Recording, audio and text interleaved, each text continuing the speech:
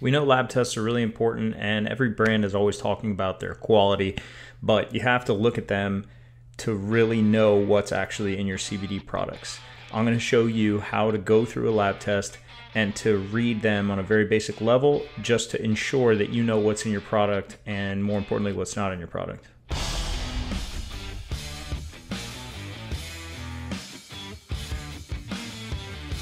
I'm John, I'm the founder of Rescue One CBD, and today we're going to go over reading lab tests step by step.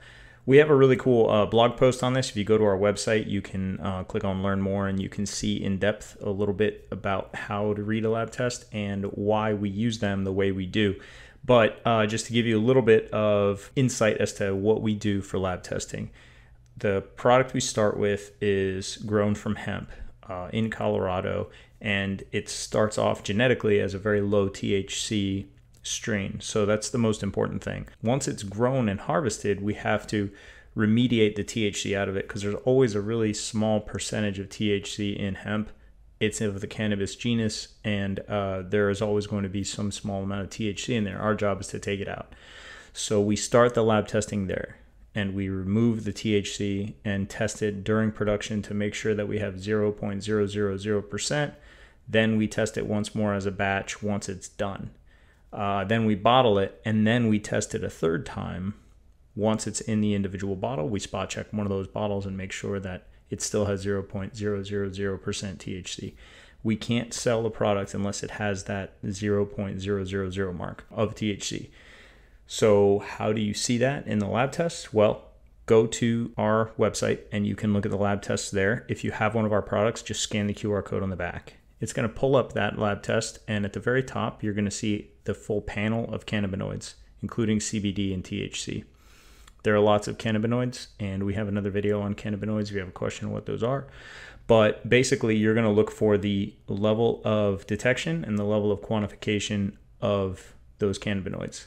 Level of detection is really important because it sets the sensitivity of the machine that's detecting THC in that product. So it's super easy for somebody to say non detectable levels of THC when their sensitivity is not set very low. That's like a very easy goal to hit. We set our sensitivity as low as we can physically quantify, and that's at 0.000. The math that comes out to that, that my lab technicians explained to me, was zero parts per billion. So, for the size of CBD bottle that we have, having 0.000% THC means zero parts per billion of THC in that 30 milliliter or one ounce bottle of CBD. So, at that really, really sensitive range that we're testing for, we have none that we can see. Going through each one of those will show you what your level of detection is and that basically what the sensitivity is and how much is actually present.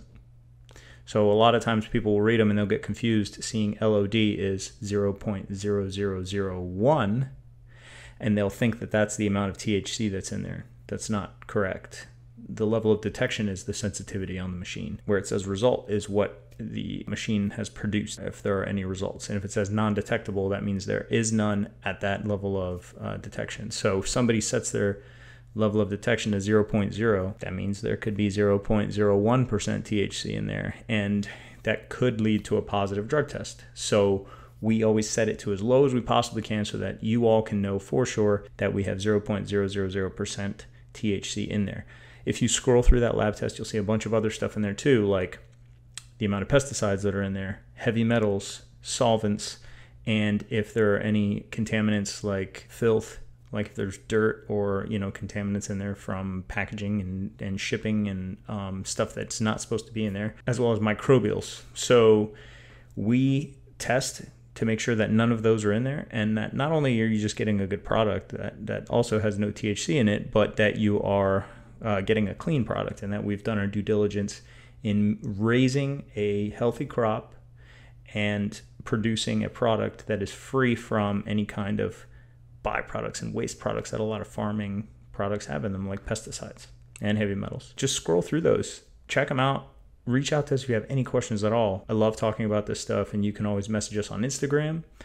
You can email us support at rescue one, the number one, CBD.com, or you can comment right here on our YouTube or podcast and we will get back to you there as well. The easiest way to get a hold of us is through Instagram or email. We're really responsive through there. That's all for this one. We're going to update you on some exciting stuff and more upcoming things on the next one. Take care of each other and be safe out there.